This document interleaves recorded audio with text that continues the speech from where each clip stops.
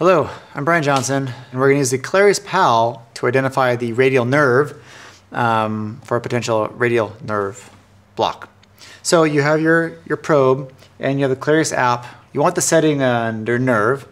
And basically what I do for the radial nerve is um, I kind of put the probe over the mid forearm. And there's actually three um, nerves that run through the forearm, and all of them can block. So you have the radius, the median, and the ulnar nerves. The teaching is, is the radial nerve runs radial to the radial artery. The median nerve doesn't have any vasculature with it, and the ulnar nerve is ulnar to the ulnar artery. And so for the radial nerve, really what we want to do is like identify the radial artery, which we're seeing here. It's kind of on the radial aspect of the uh, forearm. And what you're seeing is this pulsatile structure in the middle, and that's the radial artery. And adjacent to it is the radial nerve, this sort of hyperechoic structure that when you, what we'll do is actually we'll make that depth a little better.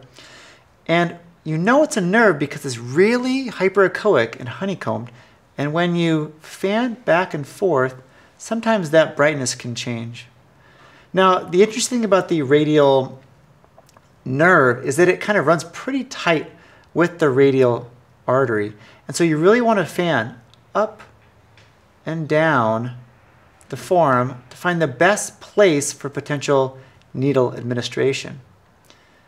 And we're just moving up the arm towards the antecubital fossa, and we're moving down towards the hand. And what you want to do is identify the appropriate place to administer a needle. I'd probably go right around here to be honest. You have a nice approach far away from the radial artery.